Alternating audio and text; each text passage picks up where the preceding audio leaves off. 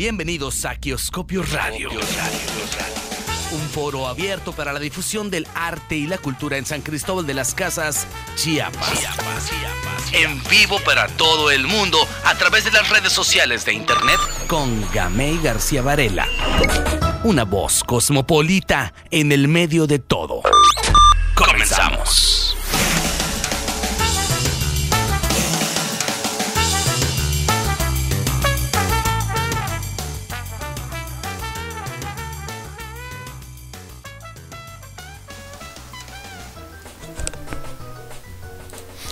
Bien amigos, muy buenas tardes. Estamos ya aquí en otra emisión de Kioscopio, Arte y Cultura en las redes sociales. Yo soy Gamey García y me da mucho gusto estar con ustedes nuevamente en otra emisión más. Agradecemos a Roberto y Alejandro en nuestra cabina virtual allá en el diario de Chiapas en Tuxtla Gutiérrez y a los demás medios que retransmiten esta señal de Kioscopio.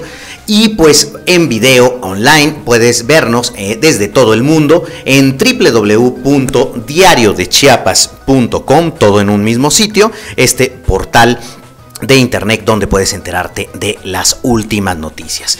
Bien, pues como siempre tenemos invitados, eh, destacados invitados del ambiente del arte y la cultura de aquí de San Cristóbal de las Casas. Y pues bueno, en la emisión pasada tuvimos, eh, recibimos aquí a nuestra gran amiga Adriana Morales del colectivo Mirada Verde. Y pues bueno, también otros dos amigos, a Jaime Stern y eh, Sergio Pedrero, que también nos acompañaron por ahí. Y pues nos, eh, nos, comentaban de una primicia, de una película, un largometraje que están eh, produciendo, que se está eh, desarrollando con gente de aquí, de San Cristóbal.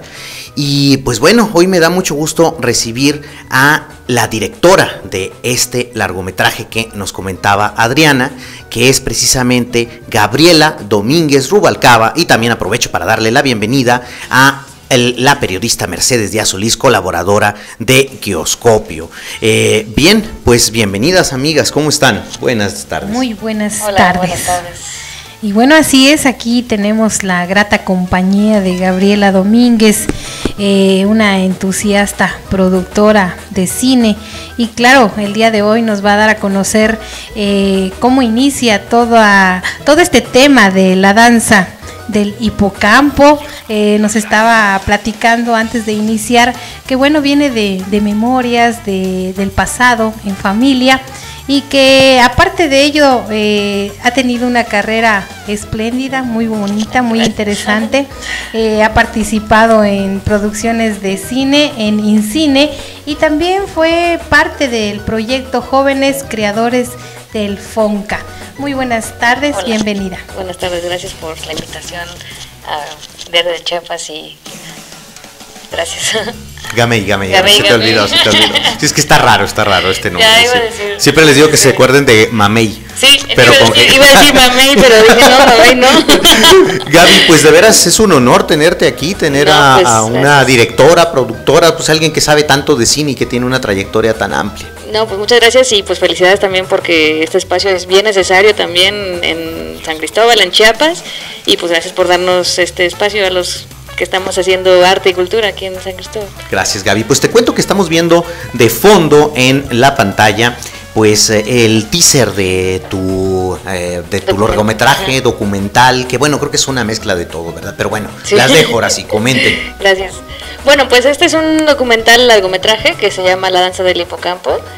Y bueno, es un proyecto que con el que llevo ya trabajando pues desde hace ya dos años, como bien mencionaste Mercedes, ahí llevamos ya este pues una un, un recorrido exactamente, este y que ahora pues ya se está pues materializando y ya ya lo estamos ya estamos haciendo el rodaje, que es lo que lo que importa ahora porque Después, eh, bueno, el, proyecto va a estar terminado hasta julio del 2013, pero por lo pronto estamos grabando, vamos a grabar aquí en San Cristóbal de las Casas. Ese es el punto importante también de que sea tomada en cuenta la mágica ciudad de San Cristóbal de las Casas, colonial, histórica, como ustedes la quieran ver, pero ¿por qué aquí en San Cristóbal? Bueno, pues básicamente porque yo tengo aquí un montón de recuerdos. Este, yo viví, bueno, yo soy de aquí de San Cristóbal, mi familia vive acá y yo viví, bueno, durante 18 años de mi vida acá y tengo muchos recuerdos. Y bueno, la película que La danza del hipocampo, pues básicamente eh, es un tema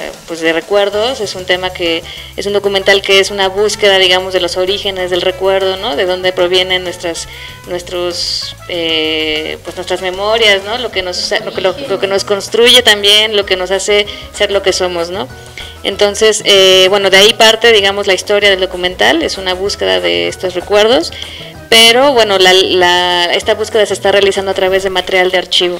Entonces, eh, es un documental que tiene mucho material de archivo desde los años 50, eh, material en Super 8, que se filmó tanto en Durango, como algunas imágenes que tenemos de aquí de Chiapas, pero bueno, generalmente es de Durango porque la mayoría de estos de estas filmaciones la hizo este un tío abuelo, mi familia es de allá.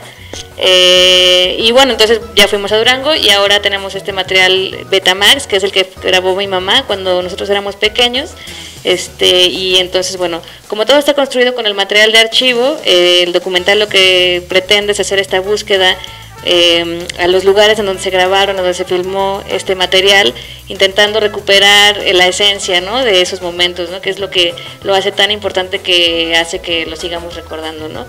Y bueno, lo que te comentaba también es que eh, este documental tiene unos, pues, digamos, es un documental de creación, un documental contemporáneo, porque tiene, pues, estos límites entre ficción y documental, entre ficción y realidad que, pues, ya ahora cada vez son más, eh, pues, más eh, flexibles, ¿no?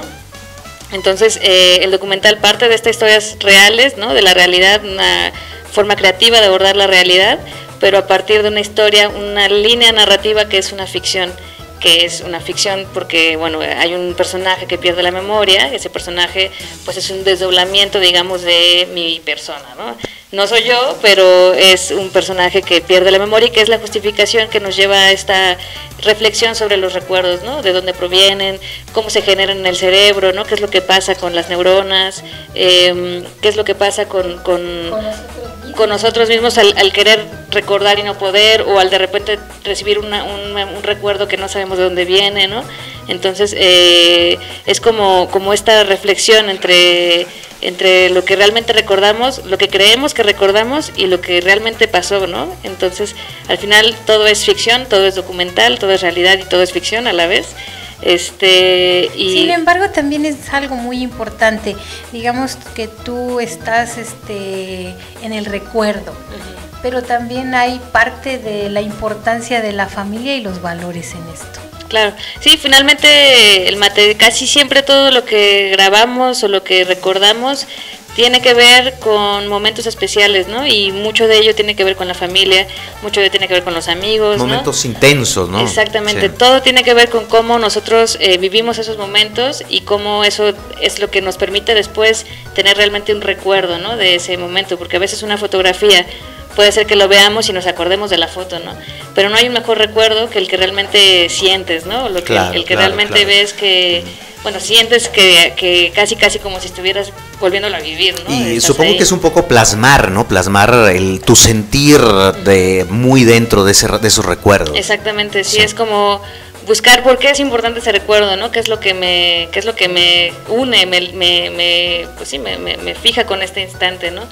Entonces, eh, pues el documental se construye así, la danza del hipocampo se construye con esta búsqueda, con el material de archivo, regresando a los lugares, es por eso que vamos a grabar en San Cristóbal, y es a través de una voz en off que, que va a ir como construyendo, va a ir como volviendo a contar estas historias y bailando estas reflexiones entre imagen, recuerdo este y presente, ¿no? ¿Y cuántos estados se encuentran dentro de todos estos recuerdos familiares de los que van a visitar? De los que vamos a visitar.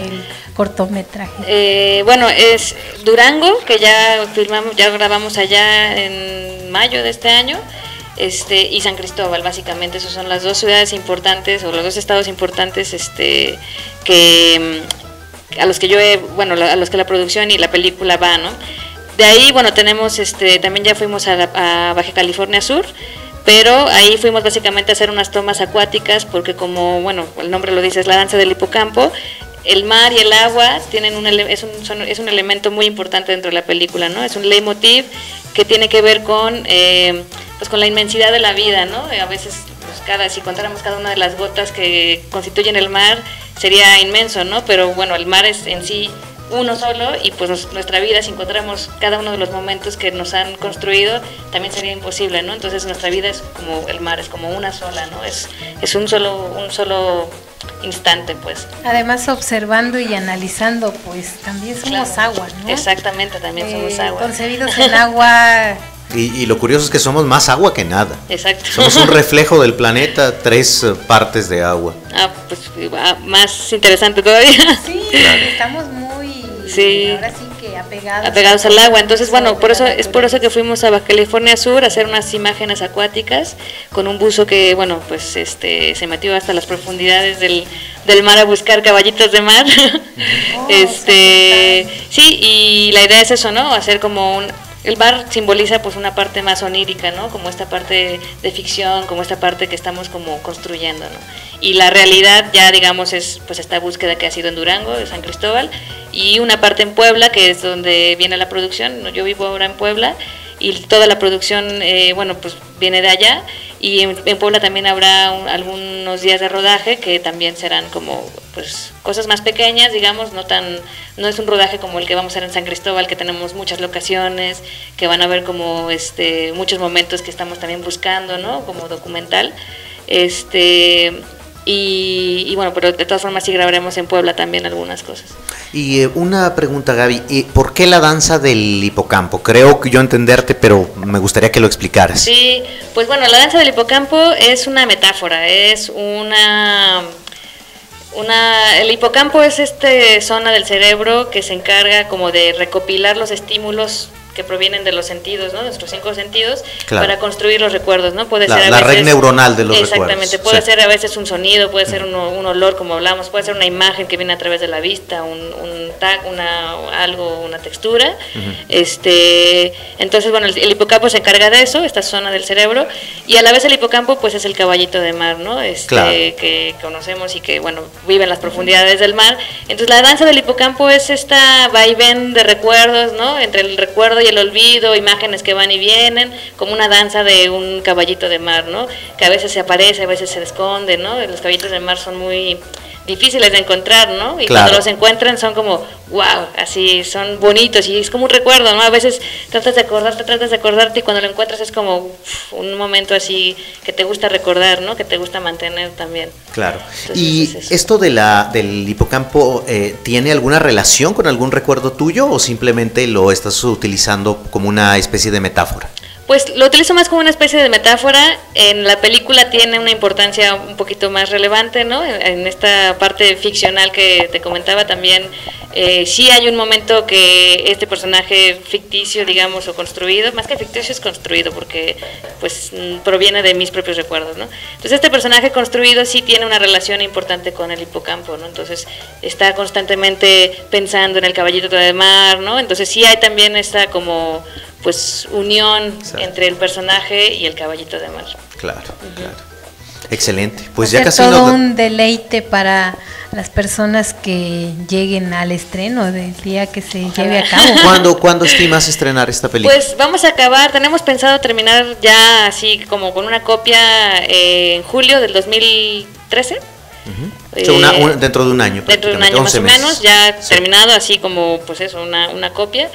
Y bueno, de ahí vienen una serie de permisos y demás. Total que vamos a empezar, yo creo, ya una, haremos un estreno oficial, pues yo creo que a finales de año del 2013. Claro. Recuerdo que también Adriana me contaba algo que, que, eh, eh, también eh, estás utilizando material de ella, ¿no? Sí. Grabaciones de Sí, ella. Entonces son recuerdos, digamos, colectivos. Exactamente. Sí, pues bueno, la, la- el material Super 8 que se filmó aquí en San Cristóbal Ujú. eh, es material que se filmó pues de la familia de Adriana, ¿no? Yo, eh, tristemente, mis abuelos no vivieron acá, entonces, pues yo, mis, mis recuerdos o los recuerdos de material Super 8 es de Durango, pero pues sí me interesaba que hubiera también este material.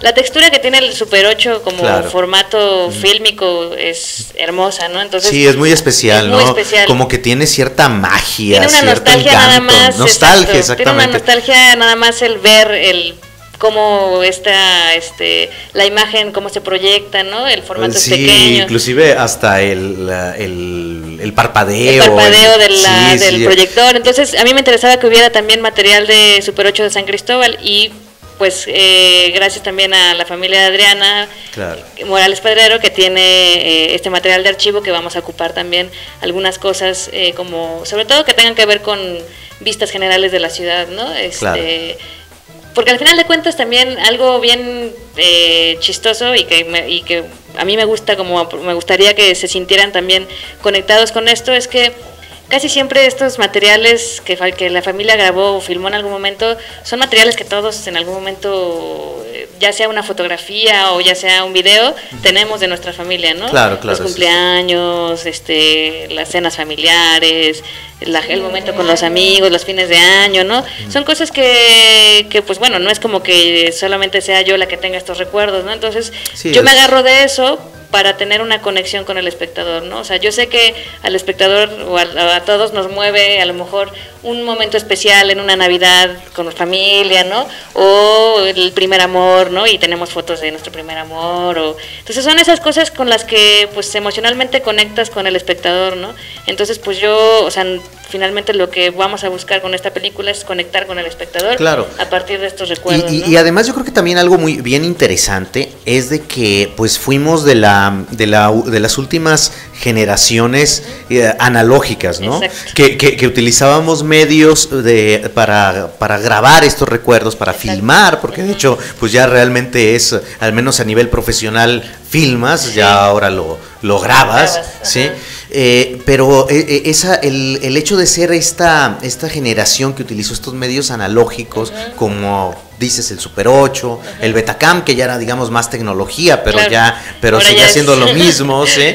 Este y, y, yo creo que también algo que, que tiene una, esa nostalgia, ese recuerdo muy interesante son los los discos de acetato, ¿no? Sí, claro, también es algo nos tocó también. Y tocas ese punto bien importante que es uno de los inicios del documental. A mí lo que me llamaba la atención cuando empecé a pensar en este tema es justo esto, ¿no? O sea, cómo estos formatos empiezan a ser ya obsoletos, claro. pero para nosotros tienen una importancia así como bien, o sea, bien interna, pues, o sea, es como ver cómo así, el, como hasta el rudito así de cuando metías el, la casetera, ¿no? O que tenías que regresarlo para ver todo. O sea, todo esto es algo que ya está, o sea, las generaciones de Sí, o sea, no, no, no, no tienen, no tienen ni idea, ni idea, de, de, de, cómo funcionaba. Entonces también es esta especie de como de recuperación de esta forma de grabar, de esta forma de capturar instantes y que ahora también yo siento, sin ser muy eh, caótica en este comentario, pero eh, yo siento que también se ha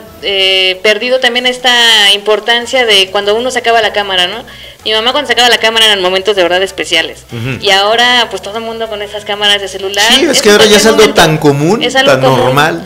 Antes, por ejemplo, bueno, ya ni hablar en los años 50 con las cámaras Super 8, era como, no todos tenían, y aparte cuando se sacaba era como, claro, así, como que se quedaban. Famosas filmadoras. Exactamente. Entonces son esos momentos que ya ahora han cambiado tanto y que se han desvalorizado hasta cierto punto y que yo siento que, bueno, a mí me gustaría todavía mantener esa importancia de realmente honrar estas imágenes, ¿no? O sea, como, pues finalmente hay que saber qué, qué cosas debemos olvidar y qué cosas hay que recordar también, ¿no? Porque si recordáramos todo, seríamos como Funes el memorioso del cuento de Cortázar, que no puede ni siquiera vivir porque está todo el tiempo recordando todo lo que vivió en toda su vida, entonces ya no ya no vives, ¿no? Claro, claro. Entonces yo siento que exactamente, yo siento que, que a veces eso nos pasa, que estamos tanto tiempo grabando, tanto tiempo tomando fotos que se nos juntan miles de teras de gigabytes de memoria y nunca las vemos, ¿no? Claro. Entonces creo que bueno, este punto es bien importante en la película como como valorizar otra vez esta pues el registro no este para que el registro luego nos se convierta en recuerdos pues. Claro. Pues desde ese punto que nos los planteas desde cómo inicia cómo va el desarrollo eh, me imagino que va a tener un gran éxito.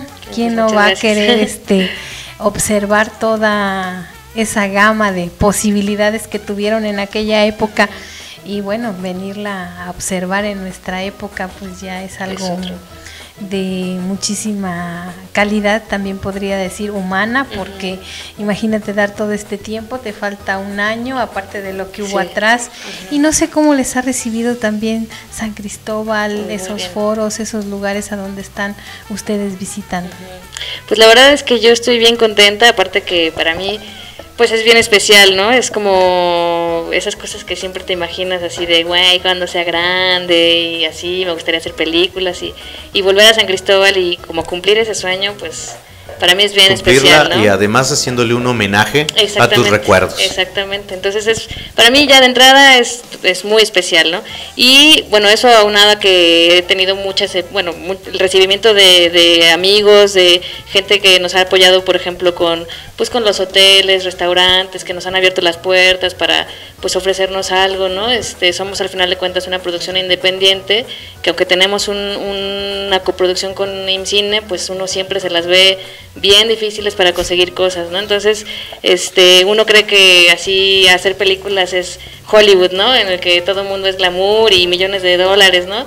Y la verdad es que sí, pero en la realidad no, no, está color de rosa, ¿no? Estamos súper alejados de eso, ¿no? o sea, ya de entrada traer el equipo, este, hacer este, pues bueno, como dices, el tiempo, ¿no?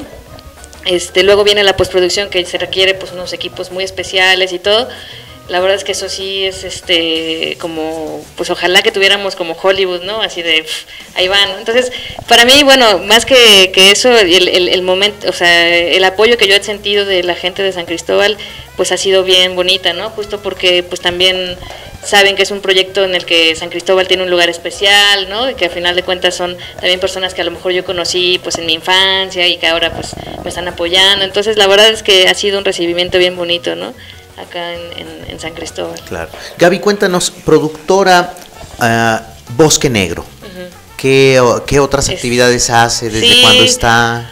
Pues mira, esta productora Bosque Negro eh, nació con mi primer documental que hice justamente aquí en San Cristóbal, que se llama eh, Del Huipil a la Chilaba. Es un documental, bueno, fue, es un documental que ya tiene desde el 2005, que lo fue mi primer documental cortometraje.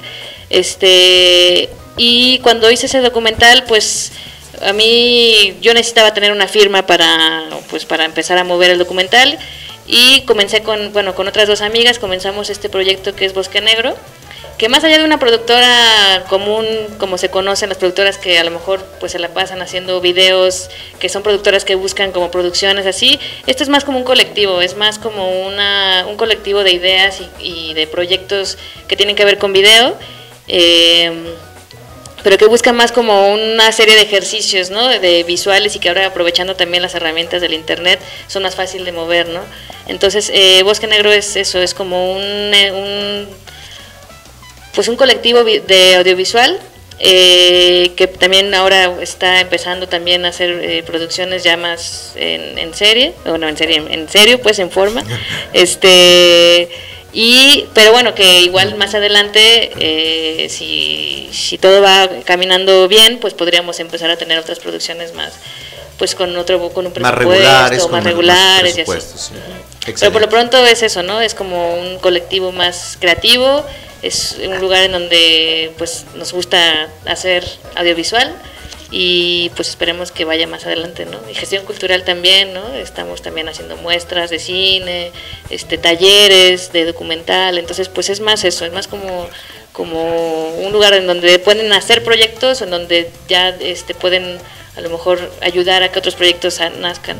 Sí, es una, una productora con una fuerza creativa colectiva. Exacto, más bien. Sí, sí, así, sí, lo, así lo, lo sintetizo. Sí, perfecto. Pues muchas felicidades Gaby, no, la verdad gracias. es que eh, pues qué, qué gusto que haya personas aquí en México que no se den por vencidas, que lo logren, ya estás haciendo tu primer largometraje uh -huh. y pues esperemos que sea el primero de muchos y muchos más, con más sí. opciones, más recursos y mejor calidad. ¿cierto? Muchas gracias y pues igualmente felicidades y esperemos que para el estreno pueda regresar y ya hablar de, del estreno, más bien invitar aquí a tu público.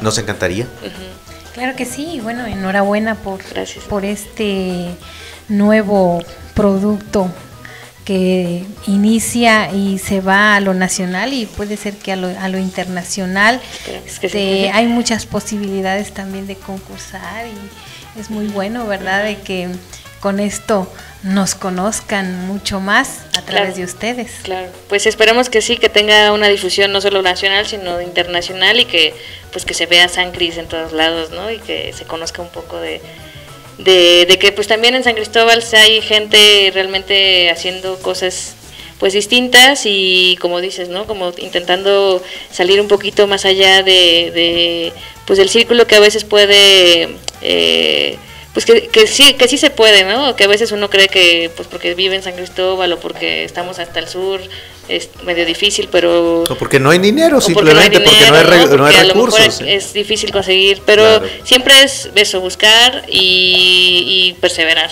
o sea esa es la, la clave Así Yo creo. Muy bien. Eh, este, bueno, el, uh, ahora nos, nos eh, compartiste el el teaser, el teaser de, de, de, de, tu, de tu película, de tu película próximo estreno, que es eh, La Danza del Hipocampo. Eh, ¿Dónde podemos encontrarlo? ¿Dónde podemos eh, con, ver en internet sí. este, este teaser de uh, La Danza del Hipocampo? Pues tengo una página que es más un blog, uh -huh. que se llama bosquenegro.tumblr, que es T-U-M-L DR, no es cierto, T-U-M-V-L-R.com. T-U-M de mamá, B de Beto, L-R.com. Es bosquenegro.tumblr.com. Es un blog y pues ahí está eh, todas las producciones que, que, han salido de Bosque Negro y ahí está también eh, el teaser de la danza del hipocampo o en Vimeo que es más fácil encontrar a lo mejor buscando la danza del hipocampo tal cual y creo que hasta en Google ya está apareciendo claro. la danza del hipocampo danza y ahí hipocampo. aparece uh -huh. ya el, el teaser uh -huh. este que es pues una pequeña muestra que, de lo que puede ser no de ahí claro hay mucho más que hacerle pero pero eso es con lo que hemos empezado este pues a, a mover el, el, producto, el proyecto. Y de, bueno, dentro de toda esta producción, ¿cuántas son las personas que hacen que se mueva todo? Sí, este pues bien equipo? importante, la verdad es que yo he tenido la suerte de tener un, un equipo... Eh, pues que más allá de ser un equipo de trabajo son amigos, ¿no? Este, somos un equipo que nos conocemos desde antes. Es Erika Mercado es la productora del documental. Eh, Yaisu Vázquez es, es, asistente de dirección y es pues un pilar también porque siempre está ahí muy pendiente de todo y así, entonces este es bien importante. César Salgado es el fotógrafo con quien también ya hemos trabajado anteriormente en otros, en otros proyectos en Puebla. Eh, Rafa Arcos es el sonidista y, eh, y bueno, y Adriana Morales, que es quien nos está asistiendo, asistiendo producción aquí en San Cristóbal, también pues nos ha ayudado bastante, ¿no? Entonces somos un equipo pequeño, somos seis, este, que hemos estado yendo de arriba para abajo, bueno, excepto Adriana, pero los demás hemos ido a Durango, a La Paz y bueno, ahora este, San Cristóbal. Y este y pues entre nosotros hemos, bueno, este es el equipo de rodaje y de ahí posteriormente viene ya la postproducción en donde, bueno, solamente este ya el equipo se queda, digamos, este se reduce a dos personas, que somos Erika y yo, este que vamos a continuar hasta el final, ¿no? Que somos los que terminamos ya el proyecto este ya terminado bien en una copia este profesional para mandarlo a festivales y, y pues eso, somos un equipo pequeño, pero pues de, y aparte de jóvenes, todos somos de la misma edad, todos llevamos más o menos la misma trayectoria, este, y en Puebla somos este, los que a veces compartimos a veces proyectos, ¿no? Este, nos jalamos de repente uno se jala a otro así, ¿no? Entonces, este, a veces uno hace la dirección, otro hace la producción, a veces uno foto y a veces el otro le ayuda a hacer el audio, ¿no? Entonces, así, al final esto es así, ¿no? Este, somos colegas, somos, este, pues somos parte de un equipo, ¿no? Que, que vamos ahí. Este tema del cine, el cortometraje, ¿han tenido contacto ustedes con Ambulante en algún sí. momento? Bueno, precisamente con la danza del hipocampo no, porque aún no llegamos a ese punto en el que eh, ya esté listo el proyecto, el documental y podamos ver si podemos participar en Ambulante, que sería también otro sueño ahí hecho realidad, este que podamos, que podamos pues viajar por muchos lugares, ¿no? Eso estaría increíble. Pero eh, con quien sí hemos tenido también ya un buen contacto, una buena relación, es con un festival de cine documental en México que se llama Docs DF, que también eh, ellos fueron pues nuestra, ¿cómo se dice? Eh, cuando te dan la patada de inicio, eh, con ellos fue con quien, pues quienes creyeron en este proyecto desde el primerísimo momento en que les dijimos tenemos esta idea y ellos tienen eh, también esta convocatoria de apoyo a desarrollo de proyectos sea, era una idea y terminó siendo una carpeta de trabajo con la que pudimos empezar a buscar otras otras opciones de apoyo y esto fue gracias a DocsDF, ¿no? Que dijo, pues sí, sí vale la pena apoyar este proyecto y pues ahí vamos. Entonces sí, este, pues sí tiene estrella, este, yo creo que este documental tiene una estrellita especial. Claro, se ve. sí. Gaby, y bueno, yo he conocido, la verdad es que en un buen lapso de tiempo, a muchos amigos, muchas personas que han querido hacer cine y desgraciadamente la gran mayoría han claudicado. Ya, es difícil. Es difícil, sí. ¿Qué mensaje le darías a, a A las personas todos, pues, que quieran mira. iniciarse en este?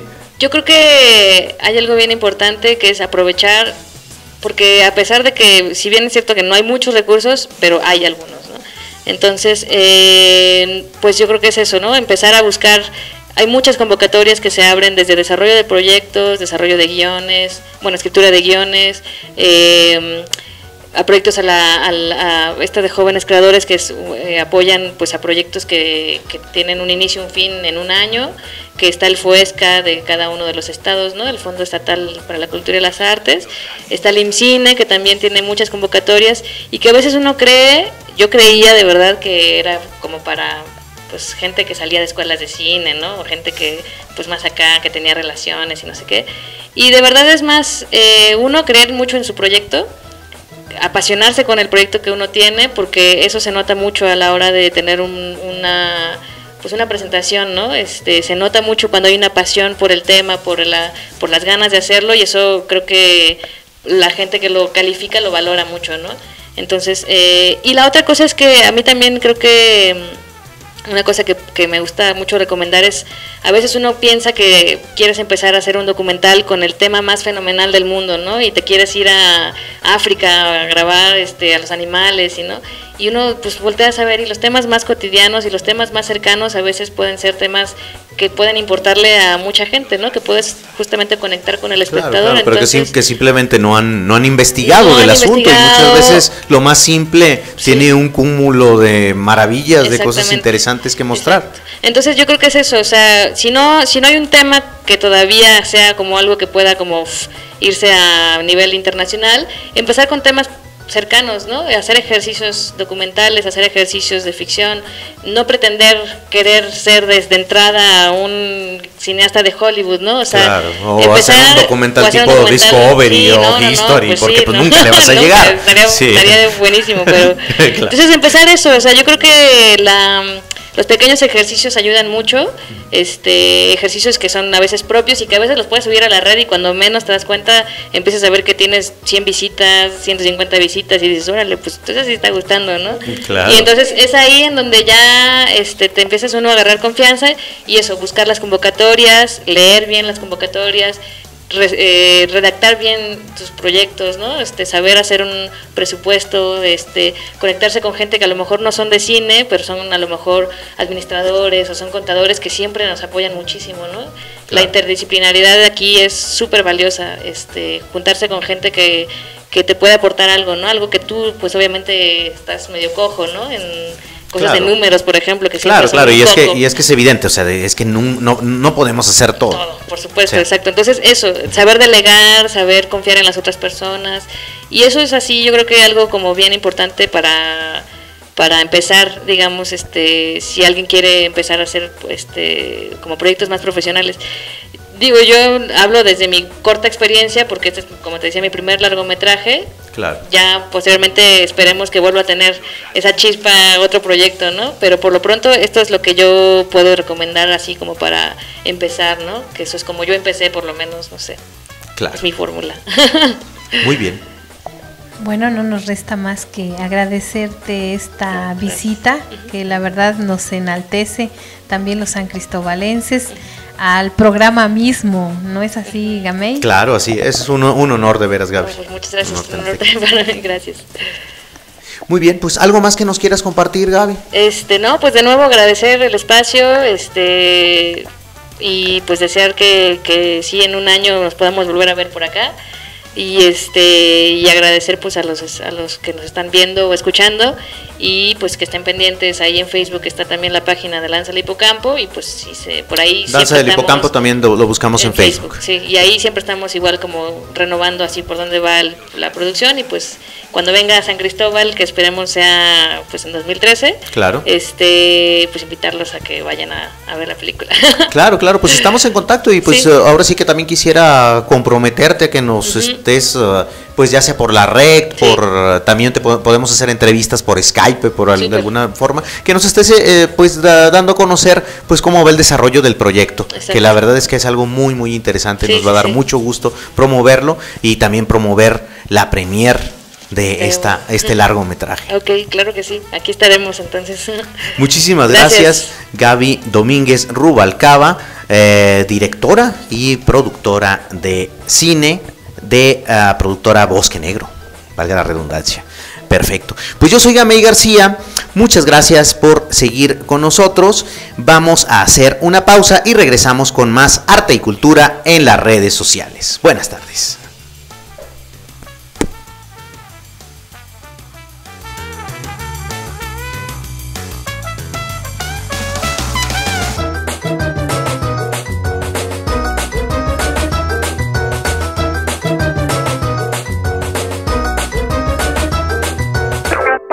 Kioscopio Radio. Radio. Un suspiro online. Volvemos. Kioscopio. Radio.